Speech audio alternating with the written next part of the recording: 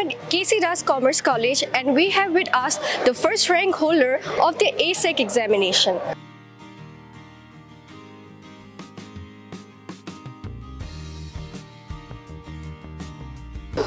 How do you feel being the first rank holder?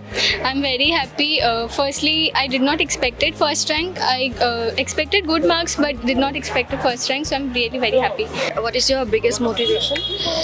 I think uh, my teachers and my parents motivated a lot that you can do. So yeah, that pushed me a lot.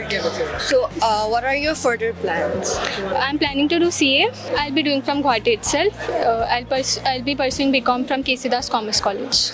I would like to uh, give the advice that uh, you should study uh, regularly on a regular basis. Studying uh, one day before the exam will not help. So uh, uh, study regularly on a regular basis every day.